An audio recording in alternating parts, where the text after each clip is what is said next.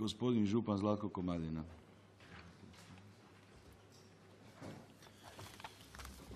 Poštovani gospodine predsjedniče, članice i članovi Županijske skupštine, dozvolite mi da malo rezimiram ovaj dio priče možda s jednog drugog aspekta. Naime, dobro je da smo nezadovoljni i dok je čovjek nezadovoljan spreman je mijenjati stvari. Ne bi bilo dobro da smo zadovoljni sa ovim izvješćem, niti da smo zadovoljni sa ukupnom situacijom i gospodarskom i društvenom, a prije svega u razvojnom smislu u našoj županiji. Ali, tu ima jedno veliko ali. Stanje je jedno, ovo o čemu su kolege govorili je stanje. Želje su drugo, a mogućnosti su treće. Ne upravlja ova županija, vi, vi, ne upravljate vi svime što se u ovoj županiji događa. Vi upravljate i ja zajedno s vama sa 300 milijuna kuna županijskog proračuna, sa 100 milijuna kuna županijskog proračuna u upravi za ceste i sa 30 milijuna kuna u upravi za otoke, odnosno luške uprave. I nešto kroz sustav zdravstva. Nešto. Toga bi gledali u postocima, to bi bili promili u odnosu na nešto u Hrvatskoj. Ali to ne znači da mi kao političko tijelo ne težimo više, bolje i tako dalje. U suradnji prije svega sa privatnicima, bolje rečeno sa vlasnicima kapitala koji trebaju ulagati u gospodarstvo, sa državom koja treba ulagati i stvarati uvjete za gospodarstvo i tako dalje. Mislim, mi nekad diskutiramo, umjesto iz općega, diskutiramo o posebnim ovim nekim segmentima koje, koje ovaj vidimo. Mi smo upravo akcentirali, čuli ste pročelnika Krpana, da je prioritet gospodarstvo i stvaranje uvjeta za rast gospodarstva. Kada gledate stranicu 5, ona vam puno toga govori u ovom, ispričavam se ako imate one metiljave i mastiljave crne slajdove, to se potpuno slažem da ćete u buduće, jer ja sam dobio takav. Pa bi molio, ne molio, nego naredio ovima iz uprave da to više se ne događa. Gospodin Butorac je tu potpuno u pravu. Vidjet ćete da je gospodarstvo ispod ulaganja u komunalnu infrastrukturu. Što to znači? Znači da nam stagnira gospodarstvo u cijeloj Hrvatskoj, ne samo u ovoj županiji.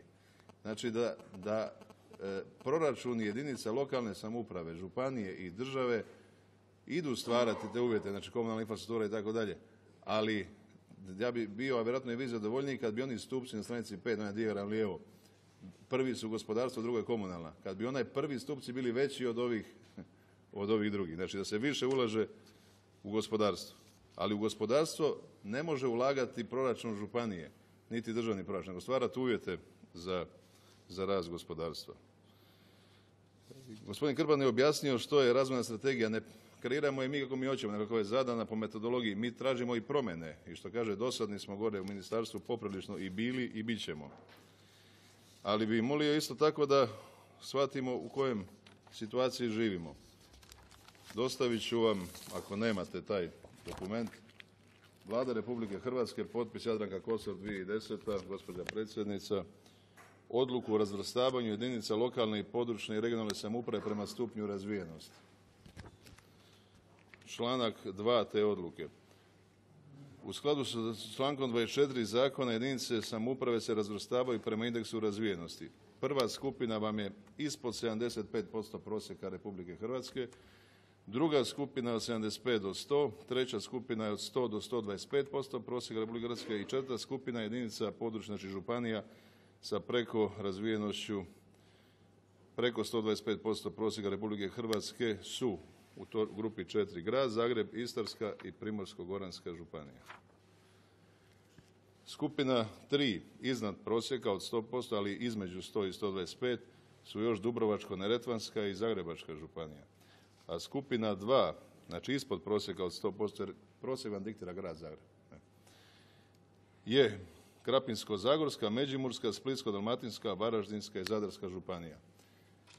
Znači dvije županije su uz grad Zagreb iznad 125% razvijenosti, dvije su od 100 do 125.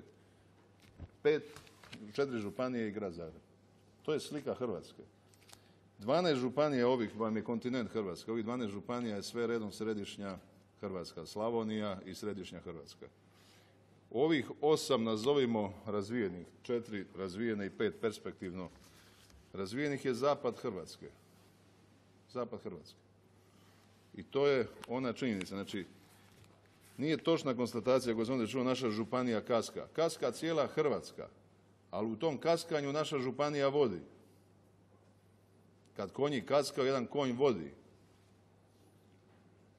Ova županija još uvijek vodi. I mora voditi. Inače, nije dobro. Nije dobro. Prema tome, ovo su činjenice što govorim. Nije tome zaslužan ni komadna ni gospođa Strenja Linić. Nego je to takva činjenica jednostavno. Ne. Ulaganja iz županije. Pa dajte molim vas, šta će županija ulagati od 300 milijuna kuna? Županija ima zakonske ovlasti u zdravstvu, školstvu, tako Znači od 300 možda imate 30 godišnje. E od tih 30 to onda ide najviše u Gorski kotar. Najviše ide u Gorski kotar. Podaci iz proračuna Primorsko-goranske županije u zadnjih osam godina pokazuju da je u Gorski kotar išlo najviše, jednako koliko i u sve naše otoke. A vodite računa na Gorskom kotaru 8% stanovništva, ali 50% teritorija na otocima je malo drugčija ovaj, slika. Ali hoću reći zašto otoci i Gorski kotar? Jer su to posebna područja naše županije i sa posebnim zakonima i posebna specifičnost. Priobalje je samo po sebi, hajmo reći, na neki način razvijenije. Ali isto morate znati da ga se indeksira razvoj u ovom dokumentu, da vas ne zamaram. Poslat ćemo u svakom, imate i popis jedinica lokalne samouprave svih u Hrvatskoj. Svih naših 36 su na početku. Svih naših 36. Najslabija je Brod Moravice. Ali Brod Moravice vodi 80% Hrvatske vodi. To je realnost u kojoj, u kojoj ovaj, živimo. Pa kad to, taj dio pogledate, mislim da će nam svima biti jasnije o čemu se radi. Znači, ono da smo mi dužni ulagati u ravnomjerni razvoj naše županije, što je najgore zakonski, kad pogledate ustavno određenje, odnosno zakonsko određenje županija, to više ne piše, to je nekad pisalo. Županije to nisu dužne raditi. Županije su područne jedinice samouprave sa svojim nadležnostima i poslovima. Nisu rezervni proračun gradova i općina, jer ga nema, tog proračuna nema ima tih 30 milijuna. Ali od tog i takvog proračuna, što bi rekao pokojni predsjednik Tuđman, najviše ide u Gorski kotar. I to je opet činjenica. Ne? Te podatke također možemo i trebamo ovaj, dati. Evo, i to je ono što sam htio reći. Međutim, kako to nije naše zakonsko određenje, to je naše praktično i političko uvjerenje i određenje, njega smo zapisali u statut naše županije. Mi za našem statutu i dalje stoji ravnomjerni razvoj, ali ne proizlazi iz zakonske obaveze, nego iz političke želje i volje vas, vaših kolega, prethodnika i tako dalje. Prema tome, tu smo gdje smo. Trebamo i želimo više. Europski projekti. Najveći hrvatski projekt je točka četiri vašeg današnjeg dnevnog reda. Najveći europski hrvatski projekt predpristupne faze je četvrta točka današnjeg dnevnog reda.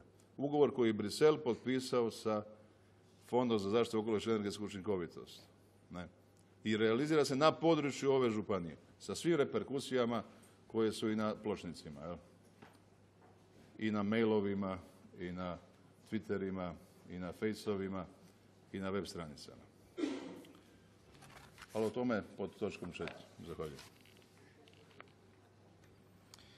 Zahvaljujem. Stavljam izvještaj na glasanje. Tko je za?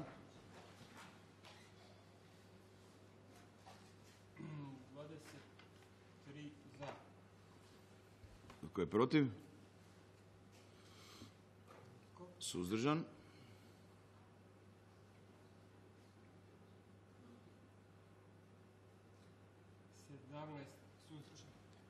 Utvrđujem da je izvještaj prihvaćen većinom glasova.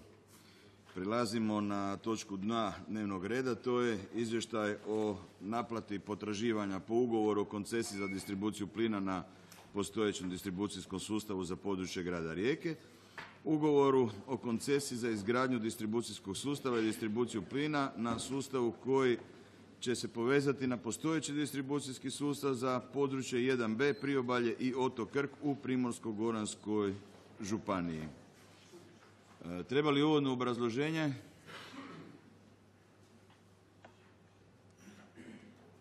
Ako ne treba, otvaram raspravu.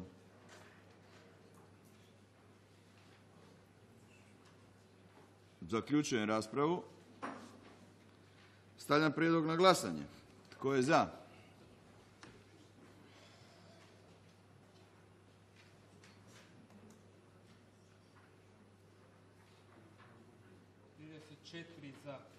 Ima li tko protiv? Suzdržan?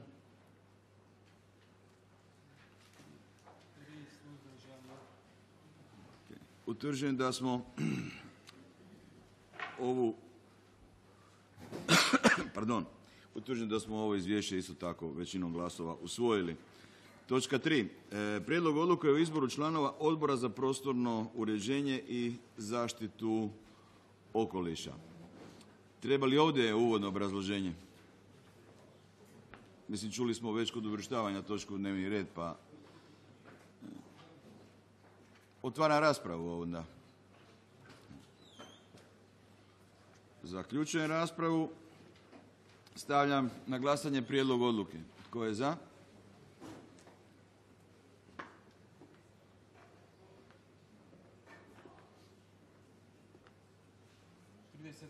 Za. Ima li tko protiv? Suzdržan? Utvrđujem da smo jednoglasno usvojili odluku o imenovanju članova Odbora za prostorno uređenje i zaštitu okoliša. Točka 4. Razmatranje mišljenja Povjerenstva za davanje mišljenja na revizorske nalaze tehničko-tehnološke dokumentacije i odabrane tehnologije gospodarenja otpadom centralne zone za gospodarenje otpadom Marišćina. Ovaj, Na sjednici s predsjednicima klubova isto tako sam najavio da ćemo isto tako dati riječ dakako i predstavniku iz eko iz eko stožera. Oni su i tražili isto tako da jedna grupa ovaj, njihovih članova dođe ovdje na sjednicu s time da sam ja konkretno donio odluku da igrokaze ipak budu vani, jer to je demokratsko pravo i dijelim to mišljenje. Međutim, ovdje su ipak ljudi koje su građani birali i pozvali da nešto odlučuju. I ja mislim da i volju građana Primorsko-goranske županije, neovisno o tome politički, kojoj političkoj opciji pripadaju, e, se moraju ipak poštivati. Pitanje osiguravanje prava na javnosti je osigurano ne samo putem prisustva kolega novinara, nego isto tako zato što mi sve naše sjednice od početka do kraja snimamo na internetu, tako da svaki građanin Primorsko-goranske županije može točno vidjeti i čuti koje je stavove donio koji član županijske skupštine, što je raspravljao i na kraju krajeva isto tako preuzeo odgovornost koju su mu građani dali da glasa, bilo za, bili, bilo protiv. Evo. Toliko uvodno s moje strane i dao bih riječ dakle gospodinu Krpanu, danas je njegov dan, da da jedan prvi uvod na, na, ovu, na ovu točku dnevnog reda. Zatim ćemo pozvati, pa neka se pripremi da kako gospodin ovaj, Josip Katalinić, koji je isto tako ima jednu prezentaciju. Evo, zahvaljujem. Uvaženi predsjedniče, zamjenici predsjednika e, i naravno svi, da ne ponavljam se, e, danas imam privilegiju da su tri od četiri točke moje, vjerojatno je ova o Marišćini najizazovnija. Ja bih dao u svome uvodnom obraćanju jednu kronologiju razloga zbog čega je ova točka danas pred vama, a nakon toga, evo kako je i predsjednik spomenuo, bile bi predstavljene, bilo bi predstavljeno mišljenje povjerenstva koje je analiziralo dostavljene revizije i naravno izdvojeno mišljenje koje je jedan član, član povjerenstva, povjerenstva dao.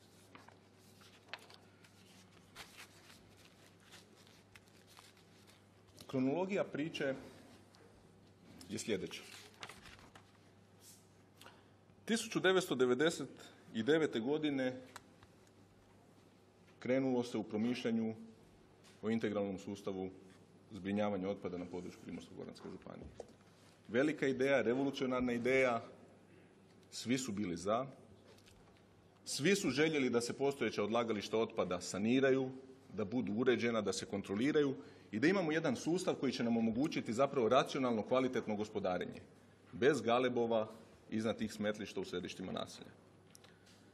Rađena je prethodna studija utjecaja na okoliš, analizirano nekoliko lokacija. U prostornom planu 14 e, od 2000. službene novine Primorsko-goranske županije bilo je četiri lokacije kao alternativne i nakon više kriterijske analize odlučeno je da lokacija Marišćina na području Viškova bude ta na kojoj će se centralna zona za gospodarenje otpadom razvijati.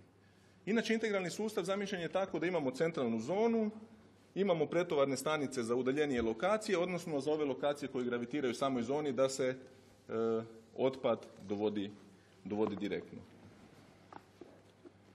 Definirana je tehnologija, utvrđeno je da će to biti MBO postrojenje, nešto drugčijih tehničkih karakteristika, barem koliko sam ja shvatio. Dobro, imamo, imamo e, mogućnost za raspravu.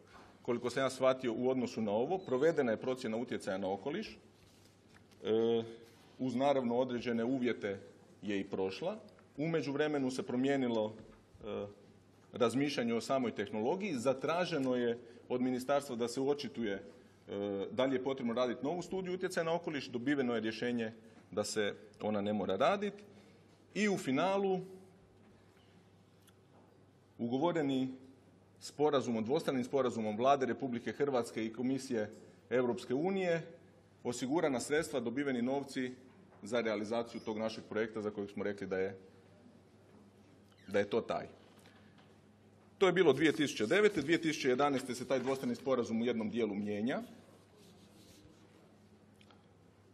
ali i nadalje ostaje na snazi da Europska unija sufinancira dobar dio gradnje početnih faza centralne zone uz osiguranje sredstava Fonda za zaštitu okoliša i energetsku učinkovitost. Ovdje je bitno naglasiti da potpisnici sporazuma su Europska komisija i Vlada Republike Hrvatske. U izmijenjenom tekstu članka 10 je navedeno stavak 2. U pogledu goriva iz otpada nus proizvoda postrojenja za mehaničku biološku obradu prije početka probnog rada bit će potpisan ugovor između tvrtke za gospodarenje otpadom Ekoplus i tvornice cementa. I u pogledu pretovarnih stanica, svih, svih pet pretovarnih stanica mora biti u funkciji. Znači, predefinirano je u tom dvostranom sporazumu tehnologija. Ta tehnologija, prema onome što sam ja našao, predefinirana je i u planu gospodarenja otpadom do 2015. 15. godine. E sad, naravno, prošle godine nastao je izuzetno veliki problem vezano za odlaganje ili privremeno odlaganje otpada, takozvana nulta faza na Marišćini, gdje je zapravo u nedostatku prostora na području Viševca došlo do odlaganja baliranog otpada na samoj Marišćini i izuzetno neugodnih mirisa koji su se zbilja u cijelom onom kraju, kraju mogli, mogli osjetiti. Na tragu toga i aktivnosti naravno lokalne zajednice, ovdje baš u ovoj dvorani u desetom mjesecu održan je jedan skup na kojem se vrlo kvalitetno raspravljalo i o primarnoj selekciji gospodarenja, e, selekciji otpada, odnosno o gospodarenju otpadom uvažavajući tu primarnu, primarnu selekciju. Tada je obnašatelj dužnosti župana obećao izradu neovisne revizije i u istom tom desetom mjesecu zapravo ovo tijelo, odnosno županijska skupština donosi odluku da se u te revizije kreće. Pa evo nemojte se ljutiti od osam zaključaka pročitat ću sedmi i osmi, osmi ima B i C. Znači ovo je izglasalo predstavničko tijelo Primorsko-goranske županije. Znači zaključak sedam glasi. Predlaže se jedinicama lokalne samouprave u Primorsko-goranskoj županiji da nalože komunalnim društvima kojima su osnivači, a koji se bave sakupljanom otpada na području županije, da žurno izrade planove aktivnosti radi što skorije provedbe primarne selekcije i odvijanja skupljanja komunalnog otpada. Time je poslana i politička poruka da je primarna selekcija nešto na čemu Primorsko-goranska županija ustraje i traje. U točci 8 zaključka kaže, pod A, Primorsko-goranska županija će zatražiti reviziju projekta izgradnje centralne zone za gospodarenje otpadom Marišćina, te se ovlašćuje obnašatelj dužnosti župana, zamjenik župana Primorsko-goranske županije, da izvrši odabir neovisnih revizora sa zadatkom da u roku od 60 dana izvrše analizu kompletne tehničko-tehnološke dokumentacije vezano u izgradnju centralne zone i preispitaju opravdanost odabira tehnologije za obrađivanje otpadom. U zaključku 8b Ovlašćuje se obnašatelj dužnosti župana, zamjenik župana Primorsko-goranske županije da istovremeno s odabirom neovisnih revizora imenuje članove posebnog povjerenstva sa zadatkom davanja mišljenja na revizorske nalaze. I 8c, posebno bitno iz razloga što smo imali primjedbe na žurnost. Odmah po izvršenoj analizi od strane neovisnih revizora pod A i B, pod A i izrađenom mišljenju povjerenstva pod B, obnašatelj dužnosti župana, zamjenik župana Primorsko-goranske županije podnijeti će izvještaj županijskoj skupštini. To je znači predstavničko tijelo obavezalo izvršno tijelo da hitno, žurno postupi, reagira i da kaže ako imamo problema kako ćemo ih riješiti. To je ono što se ovdje i desilo. Da ne bismo čekali dva mjeseca do 12. rujna kako vidim, nastojali smo staviti ovu točku na dnevni red. E sad, ja naravno neću ulaziti i ne mogu ulaziti u, u suštinu e, revizija, primjedbi revizija i rada povjerenstva, to će reći kolege, ali mogu ono za što sam bio nadležan. Naime, e, to veselje da koordinira svom aktivnošću oko tih revizija za centralnu zonu gospodarenja otpadom dobio je upravni odjel kojim sam na čelu, znači upravni odjel za regionalni razvoj infrastrukturu. Između ostalog, zaključkom župana u članku 8 kaže stručne i administrativne poslove za potrebe rada povjerenstva obavlja upravni odjel za regionalni razvoj infrastrukturu, uključujući pisane zapisnika sa sjednica povjerenstva. Obzirom da je bilo primjedbi da su djelatnici moga odjela vršili pritisak na članove povjerenstva, pa ako jesu ja se ispričavam, ali ne vjerujem osobno da jesu, jer su imali nalog da izvršavaju stručno, odgovorno i pošteno samo dio kojim je po odluci župana dan. A to je da prate rad povjerenstva i omoguće povjerenstvu da sukladno vlastitom dogovoru iskažu mišljenje na revizijske nalaze. Nije bilo lako predložiti tko će revizije raditi. Išli smo sa varijantom, zatražili smo od Ekoplusa da nam dostavi popis svih tvrtki koji su na projektu radili, na tehnologiji projekta. Onda smo išli prema Fondu za energetsku učinkovitost da nam dostave popis svih tvrtki pravnih i fizičkih osoba ko bi mogao raditi revizije i onda smo po razlici jednoga i drugoga poslali pozive, iako nismo trebali, obzirom da se radi o iznosima ispod 70 tisuća kuna, da nam dostave ponude. Od osam poslanih poziva, šest smo dobili nazad. Znači, dvoje se uopće nije željelo javiti, jer je to bilo u tom času, pa i danas, ipak vrlo zahtjevno, pa možda e, i, i, i preizazovno za pojedine djelatnike. I odlučili smo se za tri. Svi znate da je to magistar Remling, e, e, doktor e, Simončić i gospoda iz Slovenije na čelu sa profesorom Medvedom. Imali su 60 dana za dostavu za izradu tog mišljenja, s tim da nam je gospodin Emling rekao, prihvaćajući posao, nakon što ga je prihvatio, da neće stići u 60 dana. Jel? Pa se onda tu izgubilo nekih 30 dana. Nakon toga krenuli smo sa razmišljanjem, dobro, dobit ćemo mišljenje revizora, bilo bi vrlo vrijedno da stvarno na to mišljenje daju svoje mišljenje o stručnosti, važnosti, sadržaju, pa i postupanju ljudi koji se u tu tematiku bave.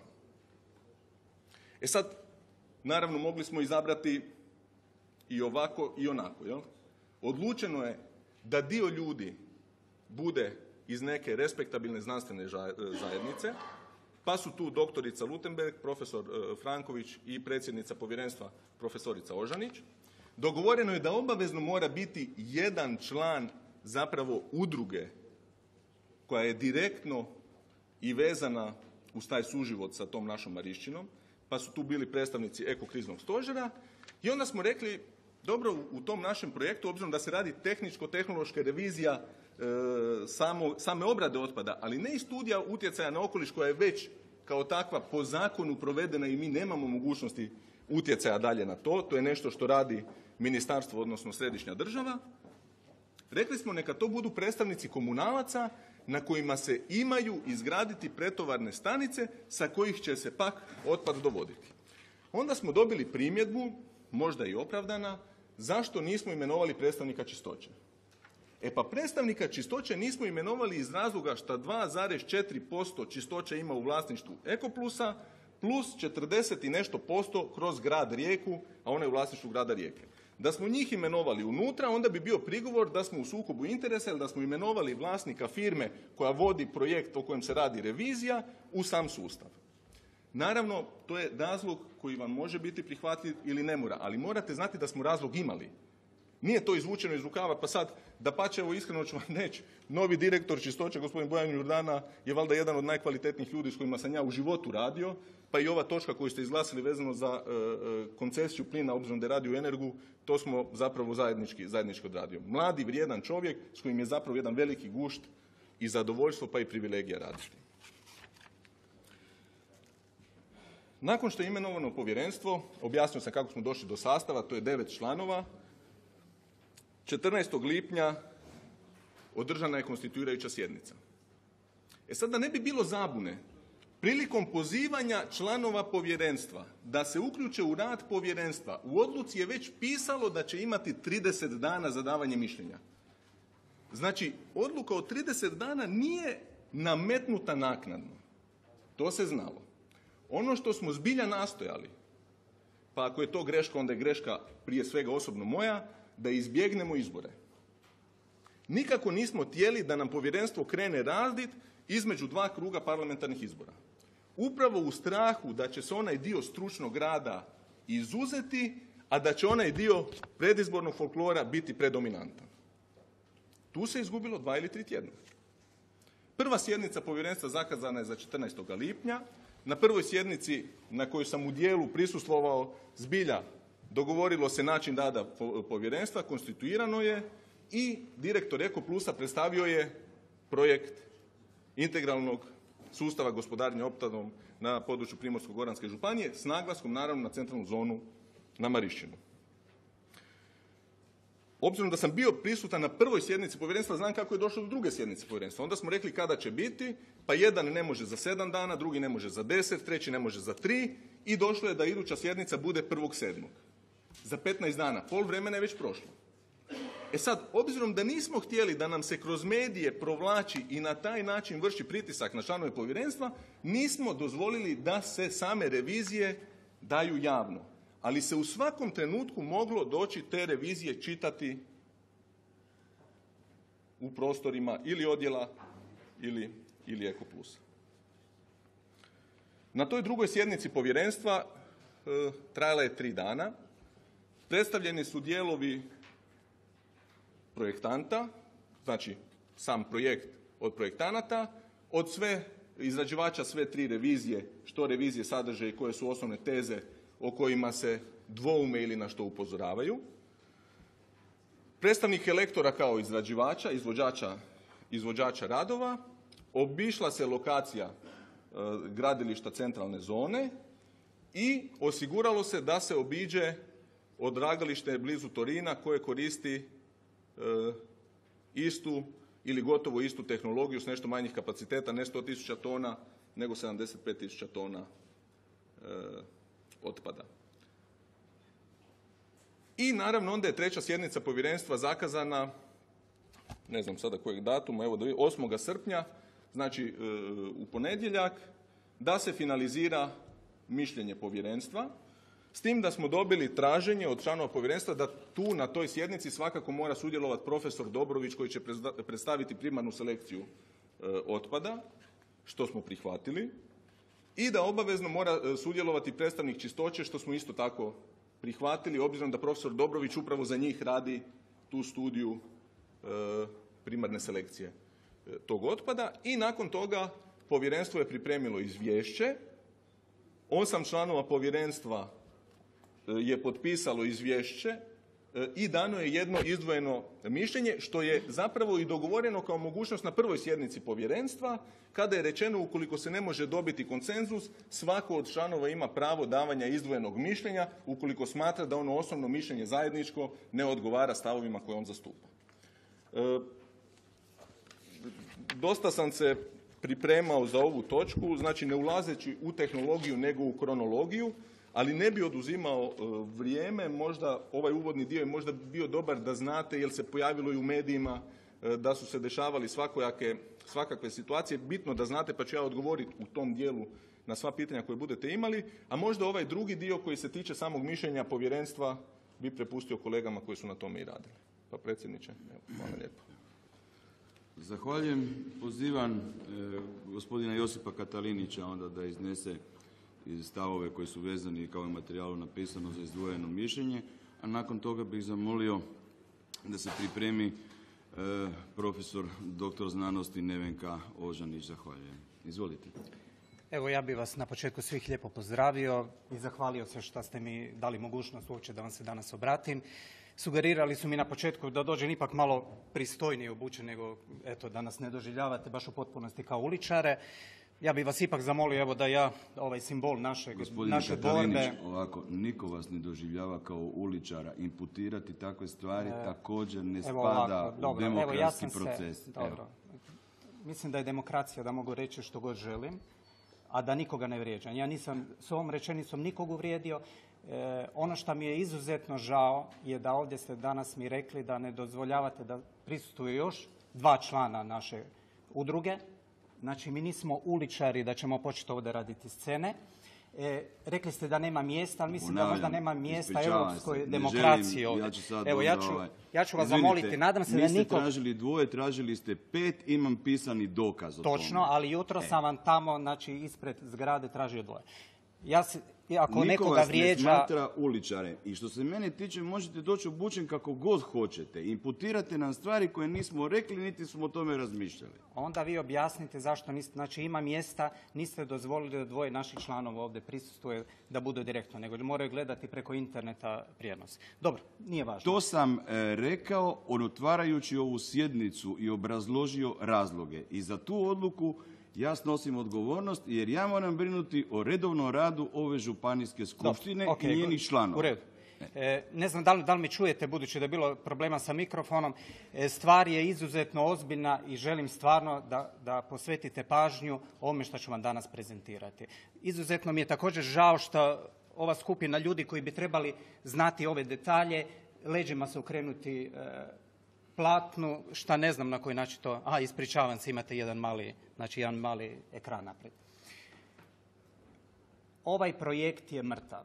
On je definitivno mrtav. Vi ga možete sa svojim odlukama održavati na aparatima na životu, međutim, on je gotov. E, zaključak našeg izdvojenog mišljenja je da se podhitno zaustavi ovaj projekt i da se krene sa primarnom selekcijom, kako kaže gospodin Krpan, odnosno sa ekološkim gospodarenjem sa otpadom. Sad ću vam u ovoj prezentaciji kratko objasniti zašto.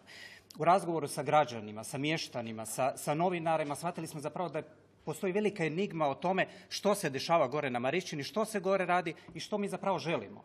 Nije više problem samo smrada. I sinoć je smrdilo, naravno, i smrdit će za uvijek, vjerojatno, ako, ako ostane to gore. Međutim, to nije osnovni problem. Problem je koncepta gospodarenja s otpadom koje gore nam se želi nametnuti.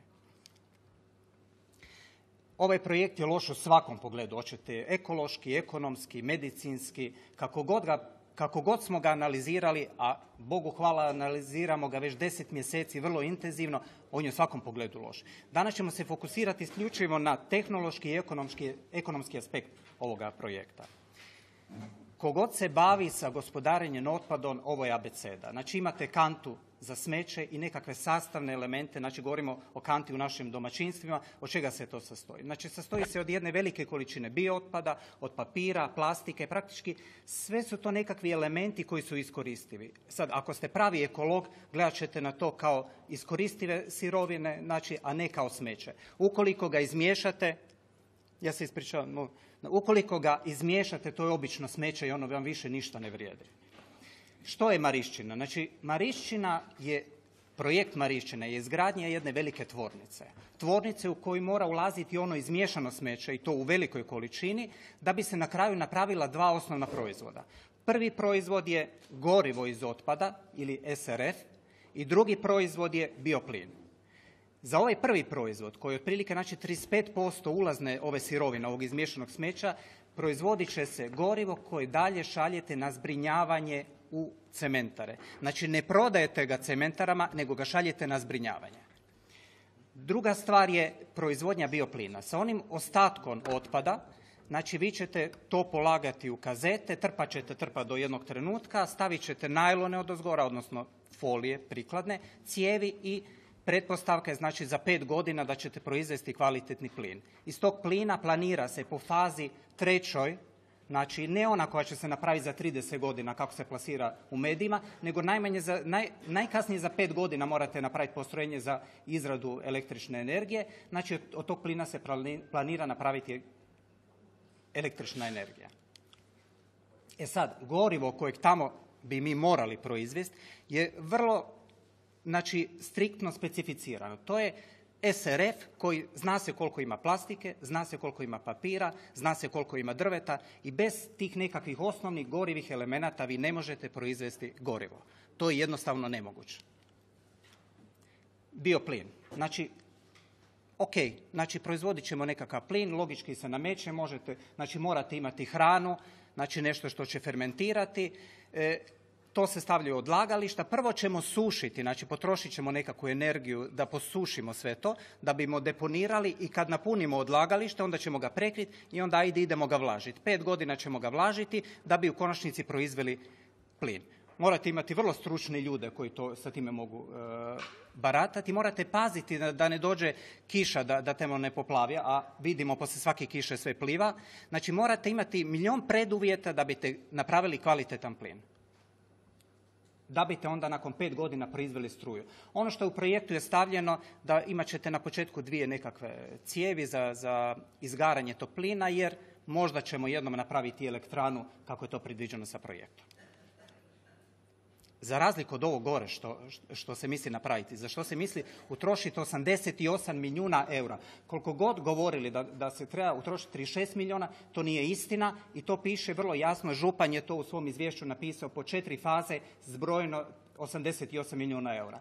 E, napisali ste u tome da se u četvrtoj fazi samo proširenje odlagališta. To nije istina. U četvrtoj fazi, odnosno to je pod brojem tri, treba izgraditi postrojenje za proizvodnju električne energije. Znači, ne možete izbjeći do kraja potrošiti taj novac. E sad, šta je alternativa? Alternativa je ono što radi čitava Europa. Mi nemamo tu izbora, znači mi moramo slijediti Europu. To nam i njihovo zakonodavstvo nalaže. Znači moramo preventirati nastanka otpada, moramo ga ponovno koristiti, reciklirati, znači izbjegavanje, ponovno iskorištavanje, reciklaža, tek na kraju nam dolazi odlagalište otpada. Ono što doma izdvojimo, a moramo izdvojiti, ja to stalno ponavljam, to lijepo odlažem, znači posebno izdvojite plastiku, papir i to sad vrijedne sirovine. Kad ih izmiješate, to je smeće, to nije ništa. Ono što ste izdvojili, lijepo će se to vratiti nazad u tvornice za reciklažu, odnosno ponovno imate nove papire reciklirane, imate novu plastiku koju ste, koju ste izreciklirali, sve to možete vratiti nazad. Znači to odvojeno smeće neće ići na marišćinu. To ne ide gore. To ne ide, gore ne postoji nikakva sortirnica, gore ne postoji ništa gdje bi se to utrošilo. Jedino što će se izdvajati gore iz tog miješanog smeća je metal i on je od 2 do 4%. Znači možemo zaključiti ništa. E sad, kako odvojeno prikupljanje otpada će utjecati na projekt Marišćina? To je ono zašto tvrdimo da je, da je to mrtav projekt, da nema, vi ga možete ovdje formalno održati e, formalno živim dok se ne potroši novac još par godina, ali nećete moći dugo. Čim se krene odvajanje otpada, na ovom slajdu je to 20%, vi više ne možete proizvesti ono kvalitetno gorivo A kad kažem kvalitetno, to znači da ga možete plasirati u cementare po nula kuna. Znači, u najboljoj varijanti ćete ga prodati po nula kuna. Ne znam ko plaća prijevoz, evo gospodin Šulac će znati, ko plaća prijevoz do Koromačnog. Ako krenemo sa odvajanjem, izdvojit ćete prvo papir, plastiku, znači ono što vam je najjednostavnije. A to su osnovni gorivi elementi. Znači automatski to više nije SRF gorivo, nego RDF. I to nekvalitetan. Što znači da morate za zbrinjavanje platiti najmanje 30 eura. To je sada stanje na tržištu. Priče da će to postati vrlo komercijalno gorivo i da će to, da će to biti 50 eura na tržištu, to su priče za malo djecu. Kad dođemo do 50% odvajanja otpada, a ne znam da li ste upoznati, znači direktiva Europske unije 2008 nam nalaže da za sljedećih šest godina moramo odvojiti 50% otpada. Do početka 2020. godine mi moramo odvojiti 50% otpada, u suprotnom plaćamo penale. Govorimo o penalima, Grčka plaća 70 tisuća eura dnevno. 70 tisuća eura dnevno. Kako ćete, znači ulazimo u tehnologiju koja će nam nametnuti nove penale, nećemo moći pridržavati se e, svih regulativa, potrošit ćemo silni novac i zatvorit ćemo postrojenje. Znači, to već sa 50. I ovdje bi se, znači, organizira se sad ponovo jedan izlet za novinare u, u Italiju, tamo pogledati MBO postrojenje. Mi smo to pogledali. Znači, prvo stvar što smo vidjeli je došao je kamion, ogroman kamion pun plastike, koji je išao obogatiti to smeće. Pitali smo tamo inženjera koji nas je proveo, tamo stvarno bili su ljubazni. E, da li se može, kad se 50% dvoji otpada, da li se može napraviti kvalitetan, kvalitetno gorivo? Rekao je ne. Mi možemo isključivo ako dodamo kamion plastike ako dodamo kamion papira. Znači što ćemo? Oni su morali svoju zakonsku regulativu tako izmijeniti da bi mogli dodavati. Oni to zovu industrijski papir i industrijska plastika. Mi toga nemamo. 70% odvajanja otpada nije utopija. Sjever Italije, znači puno gradova su već došli na 70%. Vi imate primjer Novare koja je u roku od 18 mjeseci je došla od 0 do 70%. Kad dođemo do 70%, mi više ne možemo proizvoditi niti bioplin. Jednostavno ta masa smeća koja je preostala nema dovoljno vlage da biste proizvodili bioplin. I došli smo do situacije da imate tvornicu, zato, zato govorimo da je to nova obrovačka glinica, iako pitaju me ljudi i ono ne znaju svi što to znači. Znači imate tvornicu, vrlo skupu, koja nema ulaznih sirovina da bi, morala, da bi mogla proizvoditi dva osnovna proizvoda. Ali onda zašto, ljudi moji, zašto ćemo odvajati otpad ako je to toliko loše za, za projekt Marišćina? Zašto bi to odvajali? Kad bi mogao na sljedeći slajd otići, bilo tehnika možda malo da pomogne. A. pardon. Znači nama, mi, mi smo ušli u Europsku uniju. mi više ne možemo raditi baš što nas je volja. I Europska unija nam propisuje kako se mora gospodariti sa otpadom. Već za sljedeću godinu pripremljene su još oštrije mjere, odnosno još jači postoci do kojih moramo stići. Nama je sada i 50% se čini utopija. Riječka čistoća, znači, napravljen je sad e, znači, studija za ekološko gospodarenje sa otpadom, međutim, zašto nismo krenuli? Sad se počelo kočiti, sad je tu politika se uplala ono do kraja, ne želi jednostavno da se to progura. Ako čistoća kod drži ima 70% otpada gore, krene se odvajanjem otpada, sustav pada. Ako hoćete, znači mi, mi smo ekolozi i prije svega govorimo o ekološkim aspektima, zdravstvenim aspektima, ali ako hoćete svesti to na novac, onda vam jasno se pokazuje koliko je taj projekt poguban. Morate utrošiti 88 milijuna eura. E, morat ćete za zbrinjavanje. Znači, ekološki sustav pretpostavlja da vi nećete na deponiji odne smeće, nego da ćete ga reciklirati. Što znači automatski manje ćete plaćati za deponiranje tog smeća. Ovaj sustav to ne dozvoljava. Odnosno, morat ćete plaćati po svakoj toni navodno 45 eura. Niste iskoristili sirovine, znači i tu gubite novac. E, morate plaćati cementarama da spale taj, to gorivo. E, i na kraju dobijete još i penale od Europske unije. Ovo su naši izračuni i to su vrlo, kako rekao, e, nismo pretjerivali u njima trudili smo se čak i smanjiti neke iznose jer su izgledali, nama su izgledali pre- prevelike. Ekološki sustav uvođenja, ovdje smo 8 plus 8, za grad Rijeku i okolicu je 8 milijuna eura. Za uvesti kompletan sustav koji funkcionira, koji zarađuje. Nova radna mjesta. Ovdje smo stavili još neki i za cijeli ostatak županije još osam. Iako ostatak županije, evo ja pohvaljujem ovdje javno, komunalna društva iz ostatka županije koji su stvarno krenuli u, u prave sustave ekološkog gospodarenja sa otpadom.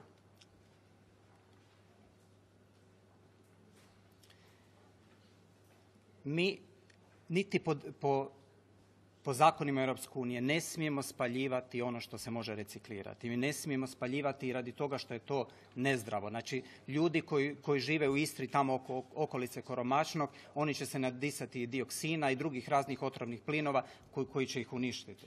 Zašto bimo spaljivali korisne sirovine kad možemo na njima zarađivati? Da ne govorimo znači, o postotku stakleničkih plinova koji se povećava. Znači, imamo konkretne studije, ja vam mogu to i poslati, znači svjetske studije koje kažu da se spaljivanje smeća, da se staklenički plinovi povećali za 6%.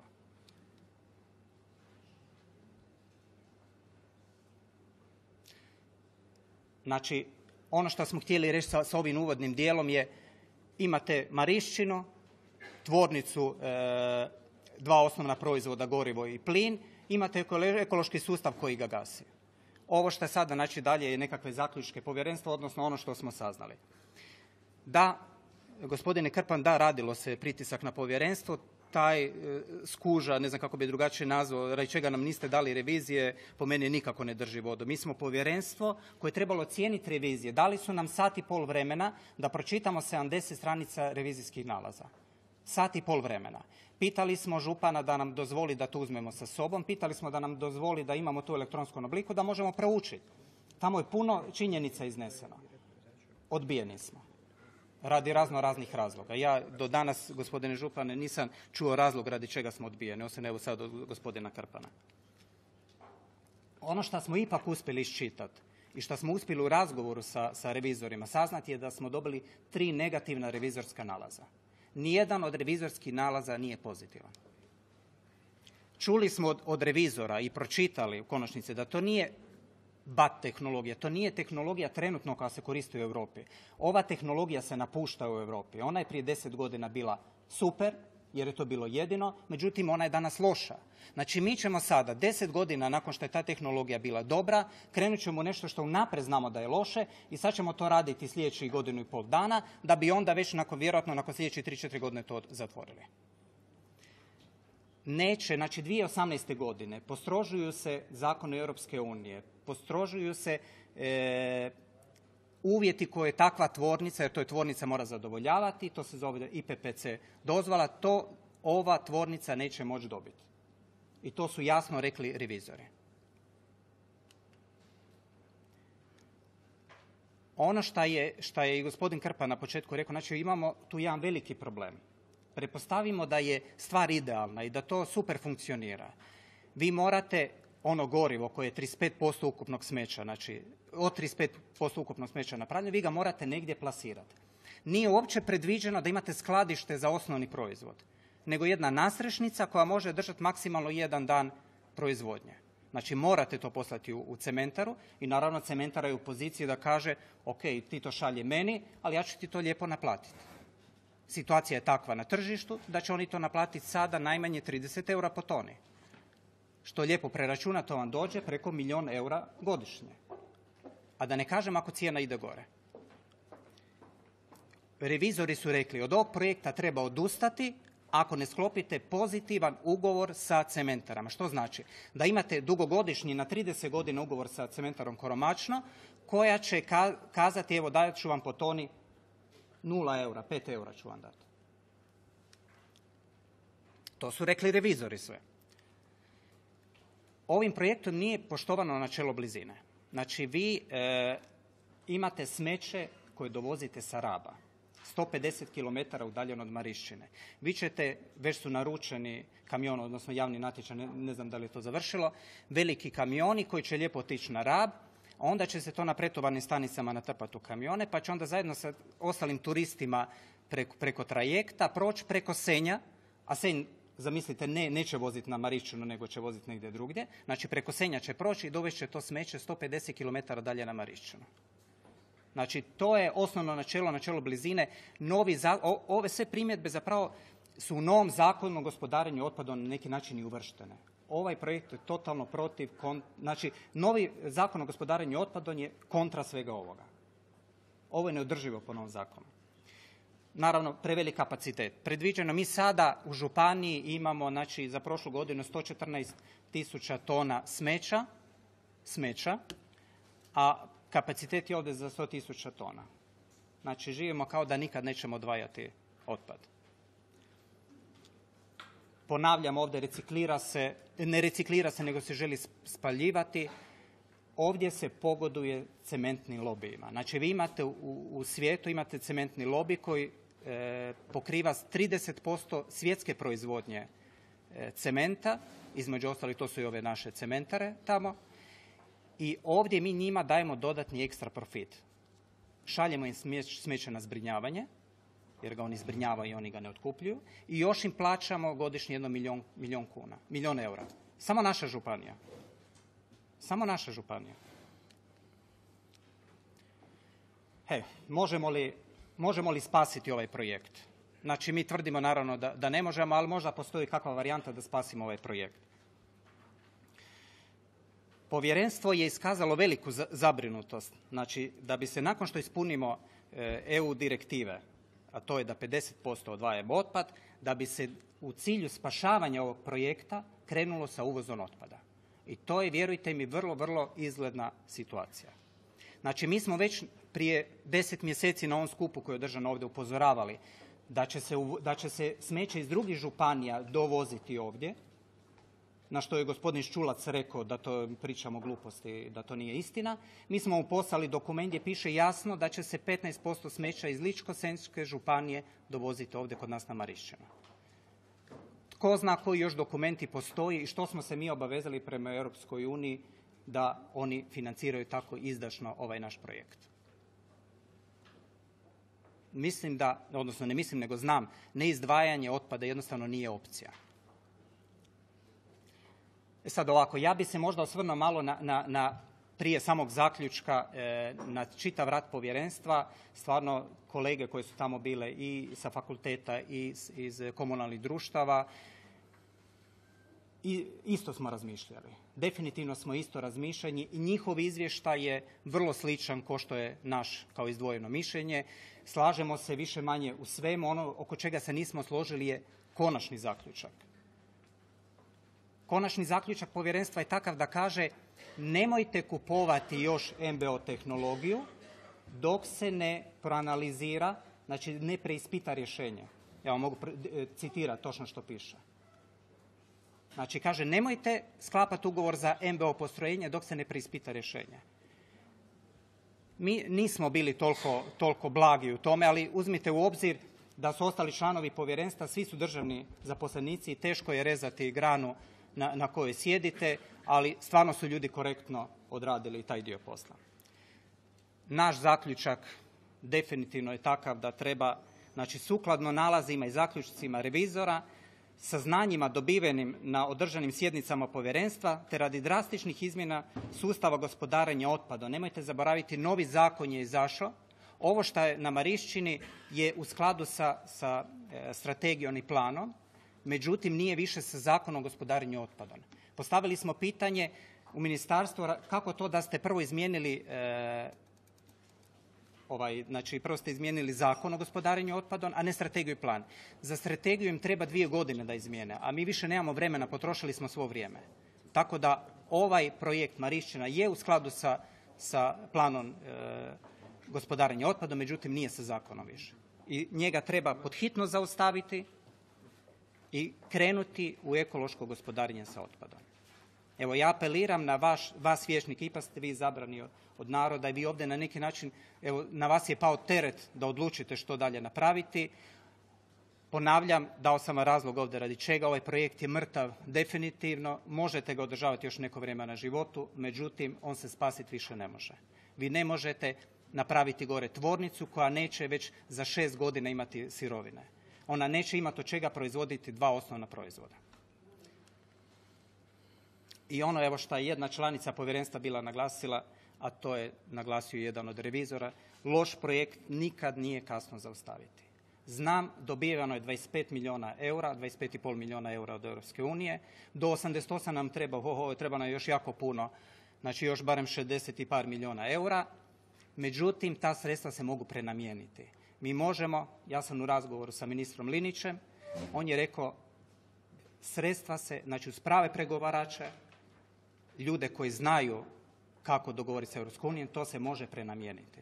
Prenamijeniti zbog toga što su nastale nove okolnosti. Mi ne trebamo micati taj novac, da pače, nama taj novac treba.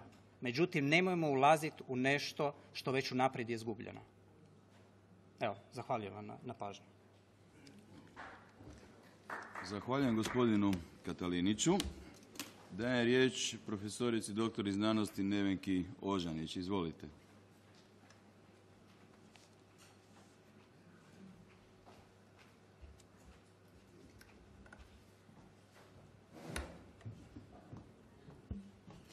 Dobar dan, sve vas lijepo pozdravljam ispred povjerenstva koje je dobilo mandat da napravi mišljenje na revizorske nalaze tehničko-tehnološke dokumentacije za izgradnju centralne zone za gospodarenje otpadom Marišćine i opravdanosti odabira tehnologije obrađivanja otpada. Namjerno čitam cijeli ovaj naziv jer naš mandat je bilo dati dakle mišljenje na revizorske nalaze. E, prema onome što ste dobili od gospodina Krpana, e, do sada. E, cijela kronologija je iznesena po onome što sam ja čula apsolutno točno. Formirano je povjerenstvo i povjerenstvo je počelo sa svojim radom. E, povjerenstvo je imalo devet članova i radili smo, vodila sam povjerenstvo na način i drago mi je da to kolega Katalinić nije opovrgnuo, na način da je svaki od članova imao pravo iznijeti svoj prijedlog. Taj prijedlog je mogao argumentirati i dati na e, svoje prijedloge, ostali članovi povjerenstva dati kontra ili e, za argumente i na taj način smo donosili svoje zaključke. S obzirom da je cijela kronologija poznata, ja ću reći samo zaključke koje smo donosili taj zadnji dan sjednice koja je trajala otprilike pet sati budući da se radi o dvije stranice zaključaka, svaku rečenicu sam pročitala koliko god puta je bilo potrebno da se doslovce doda zarez, točka, riječ umetne, izbaci, e, naravno argumentirano i došli smo do, ja moram to ovdje naglasiti, zajedničkog e, zaključka u kojem je sudjelovao i kolega Katalinić i on je davao konstruktivne prijedloge. Velik dio njegovih prijedloga je uvršten u ovo mišljenje i došli smo do onoga i u samom zaključku, onom boldiranom kojeg ste u materijalu dobili, također je dat i njegov doprinos. Mišljenje je bilo i drugačije, pojedini članovi povjerenstva su tražili jedno, ako nisu bili dovoljno argumentirani, to mišljenje nije unutra uvršteno. Zašto je i zbog čega kolega Katalinić dao nakon toga što je velik dio njegovih primjedbi uvršten unutra i kada je bio dovoljno argumentiran i prihvaćen od ostalih članova povjerenstva, e, zašto je dao nakon toga, nakon što smo se razišli sa ovakvim zaključkom, ne znam, ali to je nešto na što on mora dati odgovor. E, ja vjerujem da je udruga na njega e, imala svoje mišljenje budući da on predlaže da je dio te udruge mora se podvrgnuti mišljenju koje daje udruga. Ono što jedino bih htjela ispraviti, ja jesam profesor na fakultetu, međutim e, ni slučajno nikada nitko na mene nije vršio nikakav pritisak. Sve ovo radim i svi koji me poznaju znaju da ne mogu nikamo otići po, tuđe, po nečije i doći po svoje mišljenje Jednostavno radim apsolutno neovisno i tako sam radila i cijeli ovaj posao. Članovi povjerenstva su mi se na tome zahvalili i rekli da ovakvu preciznost do sada u svom radu nisu imali. E, na to sam posebno ponosna i doista bez obzira što sam državni službenik nisam član jedne stranke i radim apsolutno po onome kako smatram da je najbolje i vjerujem da su me zato i izabrali za predsjednika povjerenstva. Ono što je bilo nama želja da kao povjerenstvo napravimo, odradimo cijeli ovaj posao, da zaključimo što su revidenti za koje smo zaključili da su neovisno donijeli svoje ocjene, E, što su zaključili u materijalima koje imate možete vidjeti njihove zajedničke i naglaske iz njihovih e, revizija. I na kraju jedan dio kao zaključke, odnosno posebno na što su ukazali razmatrajući ovaj projekt o kojem govorim, a to je da su svi naglasili nepouzdanost i neažurnost ulaznih podataka. Ako se sjetite što je kolega u uvodnom dijelu rekao, s obzirom da se radi o dugogodišnjem nizu e, velikom razdoblju u kojem se ovaj projekat radio, naravno da su ulazni podaci danas različiti od postojećih, a to se odnosi na broj stanovništva i trend porasta zapravo sada znamo smanjenja toga broja, dakle planirana samim tim i količina otpada koja ulazi u centar, odnosno njezin trend porasta, odnosno smanjenja, e, eventualno povećanje standarda stanovništva, zatim način na koji su se prikupljali podaci, neki su procijenjeni, neki su vagani, dakle različiti je način prikupljanja, danas bi se možda mogao dobiti kvalitetniji ulaz i o tom podatku, visoka vrijednost investicije, na- naznaka visokih troškova, održavanja pogona i tako dalje i svi ti podaci danas ažurni mogu imati utjecaj na konačni projekt.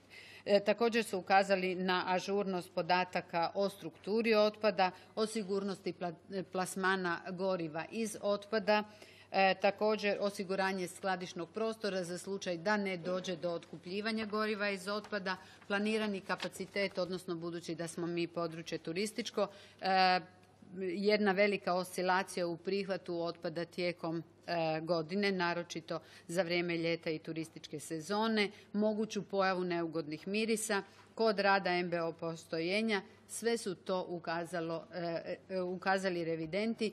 Neke od svojih e, naznaka su e, nakon što je e, predstavnici Eko Plusa dali odgovor, neke od naznaka su povukli, međutim najveći dio ovih primjedbi ostao je i dalje vezan uz projekt Marišćina.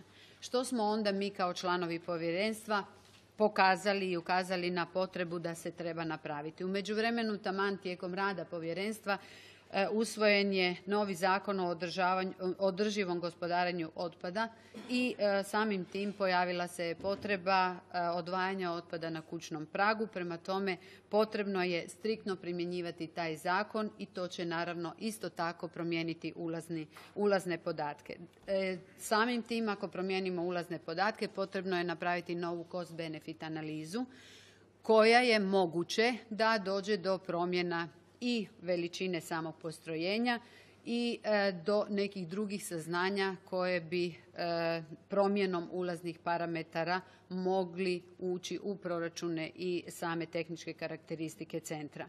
E, jednako tako naglasili smo važnost da se sklopi predugovor ili ugovor na dulje vremensko razdoblje od godinu dana sa institucijom koja će sklapat, e, koja će preuzimati gorivo iz otpada. E, Naglasili smo također i potrebu za koordinacijom svih korisnika prostora, dakle Ekoplusa, ali i čistoće na razini grada Rijeke, ali i lokalne zajednice, komunalnih poduzeća i tako dalje i e, uvažavanje načela blizine. E, Samim tim, kada se promijene ulazni podaci, moguće je da se promijene i tehničke karakteristike samog postrojenja i na to smo također ukazali.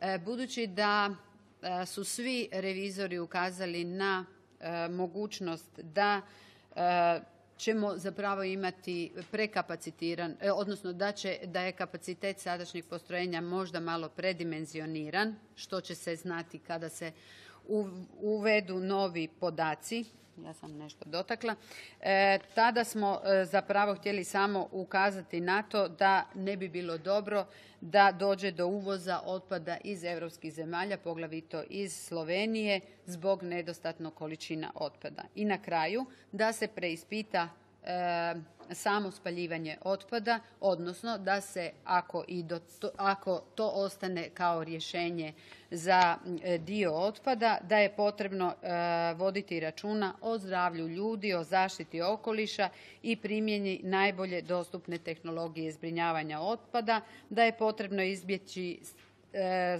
stvaranje stakleničkih plinova, naravno onečišćenje, narušavanje javnog zdravlja, da je potrebno izbjeći da se troškovi upravo zbog narušavanja javnog zdravlja zapravo prebace sa tereta privatnika na teret javnih financija.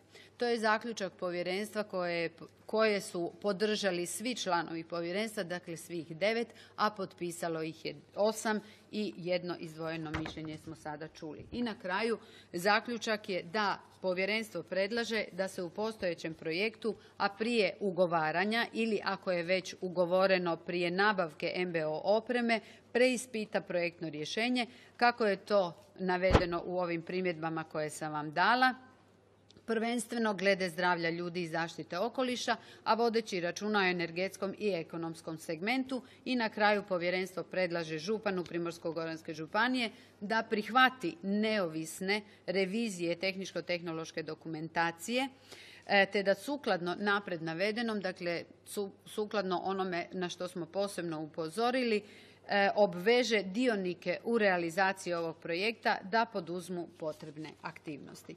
To su zaključci, dakle e, kolega je spomenuo da su revidenti rekli da ovaj projekt treba napustiti. Pregledom cijelog materijala nigdje osim naglasaka i primjedbi takve rečenice nema. Mi je kao povjerenstvo nismo pronašli. Njegovo je pravo da da zaključak kakav je.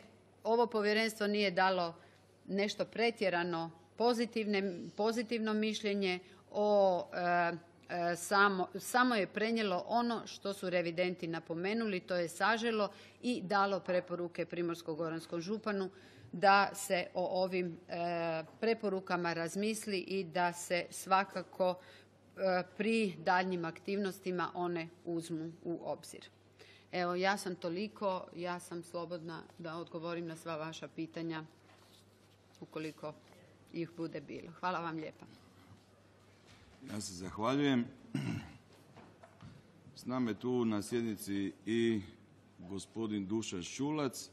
Pozvali smo na sjednicu i gospodina direktora e, komunalnog društva Čistoća Bojana Jurdanu. Međutim, predložio bih da mi sad otvorimo raspravu, pa ako ima pitanja da i oni odgovore na, na ono što nam je eventualno sporno i na one nejasnoće koje nas e, interesiraju. Evo ga, otvaram, ne, otvaram raspravu.